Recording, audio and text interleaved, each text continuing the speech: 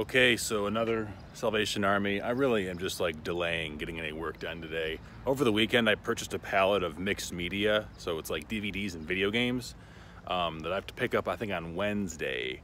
So I'm kind of just like not doing anything until, I don't want to have too much space taken up until then. This is one of the brands I look out for. King Cobra. These are probably about 15 years old, but for, oh, is that 37? Well, that's maybe there's a set somewhere around here. So 15 looks like. It looks like the whole, this bag, this Cali bag is a whole set for 40 bucks. So there's a whole bunch of Adams wedges. Um, so I, I'm gonna check it out, see what's all there. All right, so I was able to pick apart what I think it was supposed to be, which is a six, eight, nine gap wedge, pitching wedge and then two woods. But there's only one, two, three, four, five, six, seven, eight if you count the bag. Missing half of it. So I guess maybe the bag is, no, the bag's part of the deal. Um, I guess I'll go up there and say, hey, we got half. Will you take half off? Because I can probably get probably 40 bucks plus shipping for these two. And then these will sell individually. Be a pain in the butt, but they'll get about 20 bucks a piece for those. And then this bag probably just auction off up at Liquid Bidding in Flint. All right, no bundles, but I like that watch a lot right there. And that one too. Here's what we ended up getting. Um, there's one thing I want to show that I, I think is really cool that is probably only worth like 30 bucks. And that's only because it has the case. And that's these vintage Pistons pendants. Maybe those are earrings that's like a bracelet, that's a necklace. Uh, they're made with just like stainless steel. It says David Peters and a phone number on the back. So I think they're officially licensed. They're just like kind of cheap. Uh, and the pins go for like 10 bucks a piece with that old Pistons logo. Um, this is the most expensive watch I, I bought, Fossil Blue. I'll need to put a new battery in there for 10 bucks. Should go for about 30 bucks, I think. I don't know. I mostly bought to see like what the auction market is. Um, but also I saw that Salvation Army sells, they sell direct on the website now. It's like sastore.com, which I had never seen before. So, I mean, that's even more. I'm definitely gonna, when I get home or to my warehouse, I mean, I'm gonna do a video just talking about direct to consumer thrift stores because that's like the way of the future. Um, so think about that while I'm driving, I guess. Okay, we're back at the warehouse. Here's how it looks right now. Uh, cleaned out a lot of this. Hopefully, well, definitely, by the end of the day, these last two boxes uh, and probably one or two of those on that pallet right there are going to be back in my garage. Um, and we'll just work our way through all of this. That's the plan right now, is to work our way through the things on the ground.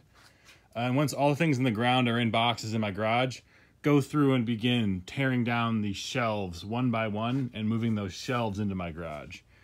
And we're going to hit a point probably where there's no more space in my garage. Uh, but I just want to clear out space here because like what we're doing tomorrow or Wednesday is this pallet spot right here is going to be all of the used DVDs um, and video games that I bought. It was only 93 or 91 bucks, really cheap. Uh, and that's definitely why what I'll be doing today. I'm going to go over and make a short video that I'll post today. And then you guys watching this, you're just going to see the continuation of my week. So that's, if you haven't noticed, this video you're watching right now is going to be like a week in review as opposed to a daily vlog because, I don't know, why not experiment with content?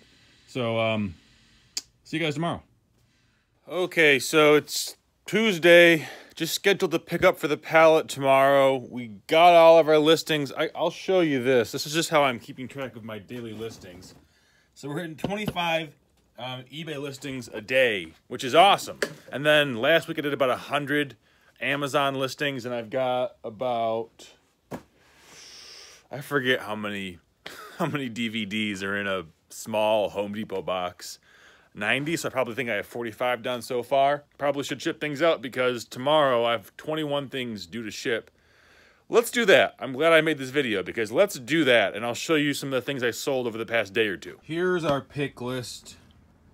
Um, pretty much most of the things are in boxes now.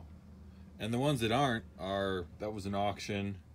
Sports cards are just alphabetically in these, these right here. These are not organized yet, but that's how I store them.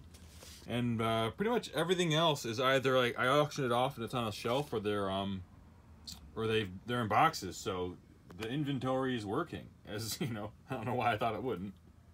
All right, we're gonna walk back and find the coolest thing that I sold. And you're gonna remember this from a thrift haul video in, I would say, late February, early March. And that's a malachite compound or composite um, Mayan calendar. And malachite is a green stone, if you're familiar with it.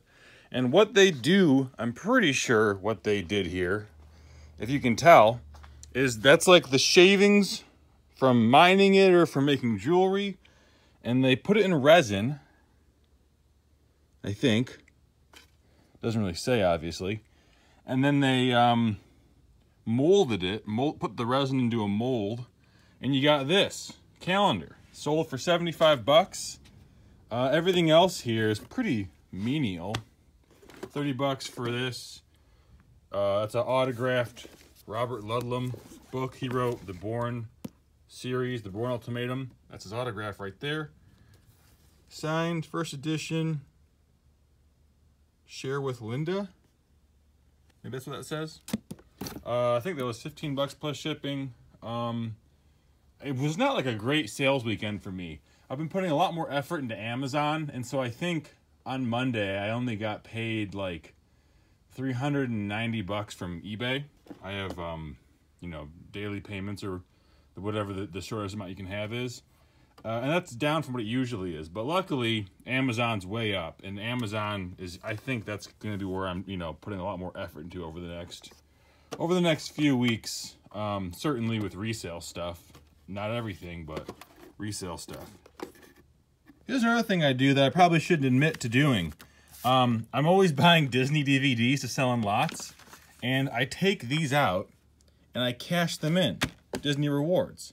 Uh, and what I've done so far is bought things to resell. But every once in a while, for like 30, you get 50 points for this. So for like 30,000 points, they're going to give, they give away a Disney vacation. And I'm going to be buying these at thrift stores for 50 points a pop, for 50 cents a pop, until I get 30,000. I mean, how many is that? That's, it's, it's thousands. Let's see. It's, um, 50 divided by 300 is six. So it's 60, 60 DVDs. When I buy 60 of these and they all cash in, I'll have 30,000 points. No, 600. oh, God. so when I get 600 of these, I'm going to Disney World, and uh, well, I've already cashed these in, so I don't feel bad about showing you the codes. Wednesday morning, so hot out. Uh, we're going to Go Goodwill to pick up um, this pallet of DVDs that I bought. Paid about a hundred bucks for it. Got a really good deal. There's some video games in there, and I think that it's gonna. First of all, first of all, I, I'm not taking the pallet or the Gaylord. I actually have to go there with a bunch of boxes, physically move the discs and the cases and everything out of the pallet and the Gaylord uh, into boxes, into the truck, and then go back to my warehouse. So that's kind of annoying, first off. Um, I think there's going to be FBA discs that I sell uh, that are going to be like sales rank below 100,000, minimum profit $2. Then I will sell some uh, higher value discs individually on eBay. I will sell genre lots or storybook character, like a bunch of Teenage Mutant Ninja Turtle DVDs or a bunch of Barbie DVDs in a lot.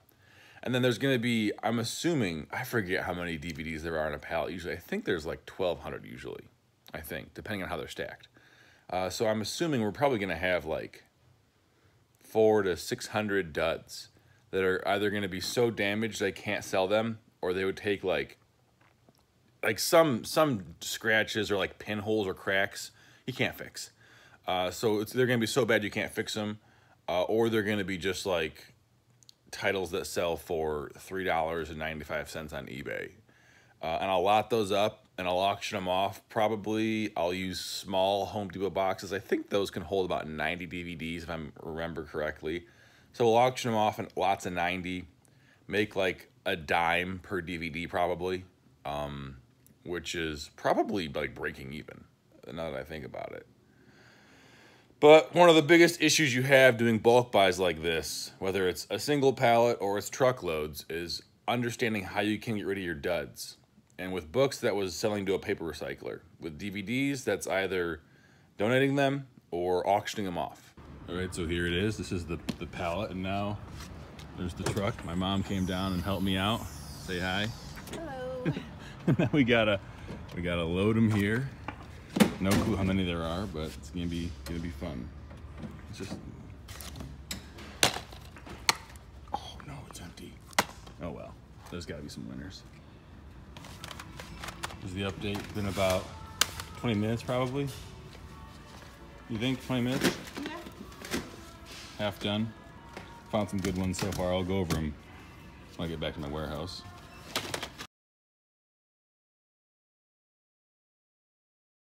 All right, we're back at my warehouse, and now I finally found a buyer for that the whole pottery set. You guys remember that from February? I think I picked it up at a Goodwill. It's mine. It's now it's my mom's. It's mine, all mine. So I we're getting it. we're getting that loaded up, and I guess let me know if you remember when I bought that. I was pretty excited about it, but it was just kind of kind of a bit much for me. Although it definitely is cool. Super cool. Okay, today has been a long day, and I haven't even packed the. I haven't done any resale work. I've just done, I mean, the pallet is resale work, but it's been a lot of cleaning out my warehouse, and I think what's gonna happen. I think, excuse me, is um, we're gonna clear all this stuff out. We're gonna list this over the next few weeks, and then we're just gonna start doing more and more. Back to bulk DVD pallets.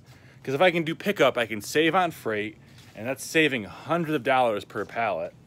I don't know what I'm gonna make off this pallet. I mean, so when I say pallet, I, you saw me, I broke it down into boxes. It's all right here. And I have no clue what the count is. I'm gonna do that right now. Um, it's just been a long day. I, I, she came over initially to get a bunch of furniture and a ladder, and just it kind of morphed into this whole uh, resale pickup thing. So thanks, mom. Thank you if you're watching. What I'm supposed to do is ship out some orders. I have 10 orders to go out today. What I did instead was start scanning DVDs. First one I picked up was the mask right here. Extremely scratched uh, and sells for $4.99 used on Amazon. A dud. Second one, 16 Wishes, lowest price, sales rank 61,000, which is okay, should sell in, um, I don't know, a few weeks. 11, 16, merchant fulfilled. So probably 13 or 14 bucks um, FBA. And keep in mind, I paid like a hundred bucks for this whole media palette, um, which is a lot lower. Usually these are gonna cost like five or 600 bucks if they've got video games in them. This one turned out to have a lot of cassettes, so that price makes more sense, I guess. I didn't know that. I'm still happy I bought it. Um, but already off the bat, boom, we're starting the profit train. I've gone through a few boxes, and here's the basic setup. These are all the duds. I will auction these off, maybe on eBay. I'll probably try a few boxes on eBay to see if I can get more than 10 cents per DVD. But I think probably the best way to do this is uh, take it to a local auction where they're not paying shipping, and I'll get about a quarter per DVD. Then I've got the Blu-rays, not worth selling. Same thing. I'm gonna try on eBay. Probably end up selling locally. Uh, I've pulled out the television series that are uh, not worth selling. And what, what is worth selling? That's a good question. What's worth selling? Right now, I'm doing anything that I can make at least a dollar profit on. So all of these discs here, I make at least a dollar profit on, and the sales rank is below 80,000. My number is 100,000, but I just haven't seen any DVDs between 80,000 and 100,000. They're all kind of lower than that. Uh, so maybe that's gonna be my new number. I don't know. Just kind of going by feel on that one. Uh, there's a whole bunch of other media that I'm not even messing with yet, like this. What the heck is this? Ford the first pre-recorded cassette specially designed for your car stereo. Don't know what it is, but I mean, it looks interesting. So I'll look that up, see what that's worth. Some more cassettes that I pulled aside, uh, but I haven't looked them up yet. We've got computer games right here. I'll go through those later too. Uh, but I'm running out of space, so I think what I'm going to do now is take these winners and just list them on Amazon. Put them into uh, Inventory Lab, print off the labels, and I've done that in videos, so you can go back and watch those if you want to. Just watch, watch the last 10 or 15 or whatever. Watch the business vlog playlist, and you'll see it. Um, and that's what we're gonna do because I don't. What I don't want to do is have a whole giant stack of things that I have to then go over and list, and it's just it's just a pain in the butt. So I'm thinking if I do smaller increments, it's gonna make this process a whole lot easier.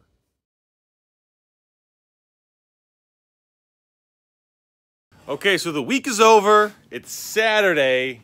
Got some work done around the house. Now back in the warehouse, and I have gone through every single DVD I bought from that pallet. There's still VHS tapes, CDs, and cassettes, like 50 cassettes. Um, but I've gone through, I would estimate, 900 DVDs and about 400 are keepers and we're making about 250 profit per DVD. The vast majority of those are like one to two dollar profits, and there's a few big winners, maybe like 25 big winners that are gonna make 10 or 15 bucks a piece. Um, and then with the CDs, I have no clue. I found one CD worth like 50 bucks. That was pretty cool. Willie Nelson sealed CD from 2001. Uh, there's some other stuff around here, like a Bob Dylan box set. There's a Talking Heads box set with a bunch of nudity, so I can't show it to you on the video. Uh, and a whole bunch of stuff that I think I'm just gonna auction off. So this is the best way, I think, to do bulk DVDs. I used Amazon Seller app. I'm definitely gonna get back on that, uh, like Jungle Scout or what was the one that I used to use? one of the apps that shows you the lowest prime price. I'm gonna definitely get back on that. Um, the only so here's what I did. I sorted by scratched and mint condition discs first. That was the first thing I did. Then all the mint condition discs, anything I can make at least a dollar profit on, I listed. Everything else went into these bins right here. I probably have about 200 right there. I think I'm gonna do a garage sale where two bucks a piece, five for three only DVDs, and I'll do one big two day sale at the end of summer. I think I'm going to do that. Uh, all the scratch discs that are not worth repairing, and barely any are worth repairing. I'm going to say that too. Those are being auctioned off on eBay, and I'm going to get like five or ten bucks per couple, like a hundred for a hundred discs, basically, which is not very good. All of the CDs that are not worth money, uh, the ones that are scratched, I'm going to auction those off at a local auction. They don't really sell on eBay at all. Um, and all of the remainders that don't go for my garage sale or, or whatever, I'm going to put those in giant media lots, take them up to Flint for liquid bidding, and I'm going to auction those off. We also have two more things, three more things, I guess, four more things, I guess, five more things, I guess, to talk about. Thing number one, what uh, discs did I pull apart or pull aside? I pulled aside Lord of the Rings, Star Wars, and any movie with like one, two, or three in it to make sets. So there's Matrix, there's Terminator. Those are all pulled aside. I'm gonna sell those in lots on eBay. I'll get about two or three bucks a disc. These are all right here, um, TV series. I'm gonna lot those by television show, a lot of Gilmore Girls, a lot of Seinfeld, and get like 10 bucks or 15 bucks per sale. These are all blockbuster cases. I'm gonna take the discs out, sell the discs in like a, a, a bulk disc lot where you get like five bucks for a hundred. It's not a good deal. But then these blockbuster cases, I'm gonna open one up and show you. These go about, you make about three bucks for 10 of them profit. It sells for like $8, I think, and you get about three bucks profit on that. So we're gonna do that as well. Uh, we have Blu-ray lots too, don't forget those. You're gonna auction off the Blu-rays that are not worth more than a buck 50 profit because you get about a buck 50 profit on eBay auctions for Blu-rays. Uh, the cassettes, we talked, was that, was that, let's see, that was one, two, three, four. What was the fifth thing I was talking? Oh, Christian stuff. I also pull aside all of the Christian DVDs. Uh, so there's VeggieTales. We'll do VeggieTales together by themselves, and all the Christian DVDs will go in their own lot because even though they're worth less than a dollar profit on Amazon, there's enough buyers there who they'll they'll buy it. And that's how we're gonna go through a pallet in basically three days by one person. Um, again, right now I have no employees. I might see if my brothers or my cousins might want to come by and work. Um, estimated profit, I would say, is twelve hundred dollars. May I mean it really is. I, I use Inventory Lab, and I, you can make your supplier different per listing. So everything I'm selling on Amazon from this pallet, both CDs, a few CDs, DVDs. Uh, those are the only two things I'm selling out of the pallet on Amazon FBA. I'll know they came from this pallet. I'm calling it pallet number one from the supplier uh, that I got this from eBay tracking sales, I'm not going to really do that. It's going to be pretty minuscule, um, but not minuscule. It's to be a couple hundred bucks. But I just, I don't know how to track that in a way that's to be easy. Because if I know I'm making 10 times my money on Amazon, then I really don't need to know how much this all goes for, um, as long as it's like making me a couple hundred bucks. This is the kind of stuff I would do like wholesale lots if I ever were to do that because it's much more labor intensive. We got probably 15 video games. Um, those will go on eBay as well. They're all pretty low value. There was nothing else really to talk about, I don't think. So that's like an average week for me, a full time, self employed guy. A little bit of reselling, a little bit of private label, a little bit of driving and picking up pallets and organizing pallets and everything. And uh, thanks for watching. I really appreciate it. Fun for me to do a week long video. Hope you enjoyed watching. Give it a thumbs up if you're still here. Comment below something that you thought during the video. What, what can I do better? I'd like to know that. Uh, subscribe if you haven't already. And I'll see you guys later.